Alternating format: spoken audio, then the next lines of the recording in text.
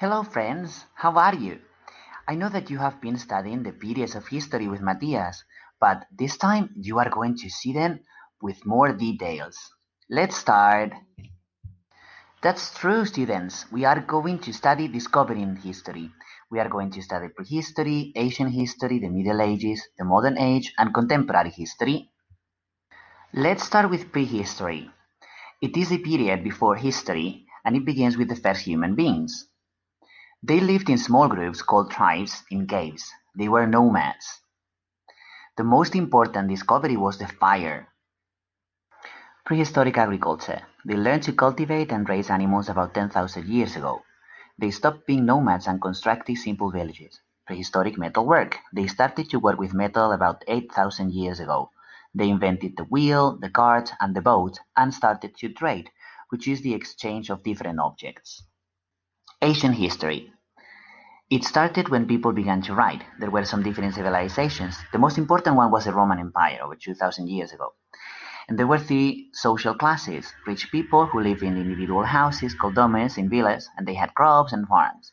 Then poor people. They lived in apartment buildings called insulae and they worked for rich people. And finally there were slaves. Rich people bought and sold them. They didn't have rights.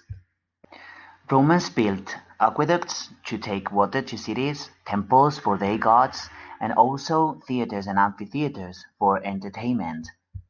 The Middle Ages. It began with the fall of the Roman Empire in 476. Social classes. The king, he lived in the castle. Noblemen and knights, they also lived in the castle. Merchants and craftsmen, they lived in small cities and peasants. They were poor and lived in small villages. In Middle Ages, people built castles. They also built walls to defend the cities and cathedrals. The Modern Age. It started when Christopher Columbus arrived to America in 1492. There were new discoveries. Explorers discovered the earth was round, not flat. New products, new foods such as tomatoes arrived in Europe from America and new inventions.